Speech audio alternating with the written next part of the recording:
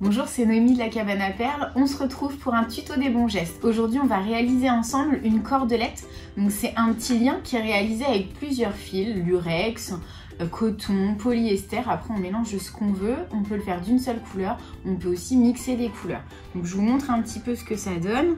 Voilà, là c'est une cordelette qui est réalisée avec euh, trois fils dans des couleurs un peu chaudes, rose, orangé et doré. Mais on peut mettre ce qu'on veut. Pour vous donner une idée, pour avoir une cordelette qui au final fera 45 cm, il faut que vous partiez avec 1 mètre de fil. 1 mètre pour chacun des fils.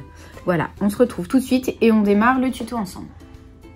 Alors, donc on va démarrer. Moi, je vais vous montrer avec une longueur de fil assez courte pour que vous voyez bien, mais après, ce sera à vous d'adapter en fonction du projet que, que vous allez faire. Donc, j'ai choisi trois fils. On peut en mettre 3, 5, 8, comme on veut. Tout dépend de la, grosseur de la cordelette voulue. J'ai choisi un nylon bleu marine, deux fils lurex, un framboise et un vert émeraude. Donc, l'idée, ça va être de bien mettre vos fils ensemble et de les vriller, donc à chaque extrémité de les dans des sens différents pour que les petites euh, cordes s'enroulent entre elles et vrillent sur elles-mêmes. faut vriller vraiment à fond. Donc quand vous avez une longueur euh, assez grande, euh, soit vous la fixez sur, avec un scotch à une poignée de porte ou alors vous le faites à deux. Là, là comme c'est tout petit, je peux le faire toute seule. Donc je vrille, je vrille. Je ne sais pas si vous voyez bien les couleurs qui se mélangent. Et une fois que c'est bien bien tendu, je vais récupérer le centre de mes fils. Alors, je vrille encore un tout petit peu.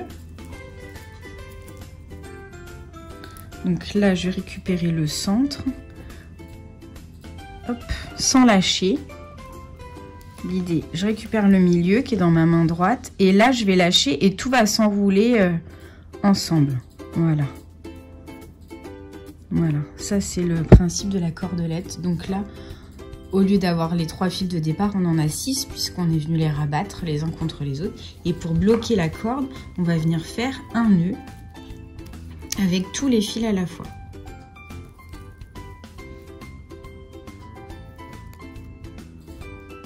Voilà. Donc plus vous serrez quand vous vrillez les fils, plus votre cordelette va être serrée au niveau du motif.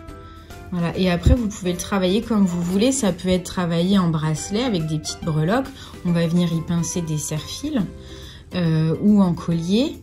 Euh, voilà, et puis en, fonction des couleurs que vous allez utiliser, vous allez avoir des rendus différents. Par exemple, bah, ça c'est euh, la cordelette que je vous ai montré tout à l'heure, plutôt dans les roses framboises. On a, on a fait d'autres essais. On a des choses plus douces avec du nude et du couleur moutarde. Donc voilà, après, vous, après c'est à vous de choisir euh, vos couleurs et vos matières. Voilà, pour terminer, je voulais vous montrer rapidement un petit modèle de collier qui a été réalisé avec une cordelette. Donc c'est une idée créa qu'on retrouve sur le site internet et aussi en tuto vidéo. Donc pour réaliser vos cordelettes, vous avez euh, toutes les matières sur le site internet. Le matériel est indiqué en barre d'infos. Nous, on se retrouve très vite pour euh, des nouvelles techniques. Sinon, n'hésitez pas à vous abonner à notre chaîne YouTube. À bientôt